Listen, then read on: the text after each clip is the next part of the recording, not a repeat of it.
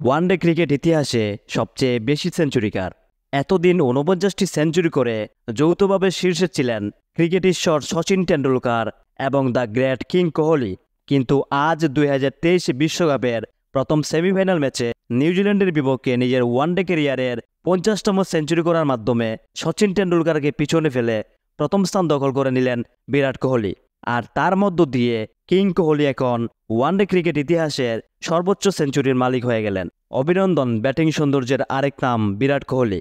What a player, what a cricketer. বর্তমান এবং আগামী ইয়াংস্টার ক্রিকেটারদের অনুপ্রেরণার আরেক নাম কিং কোহলি।